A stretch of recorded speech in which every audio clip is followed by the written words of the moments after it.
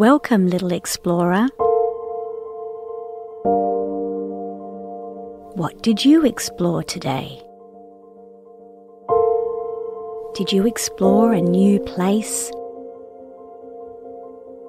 Did you explore any big new ideas? And what fun did you have today?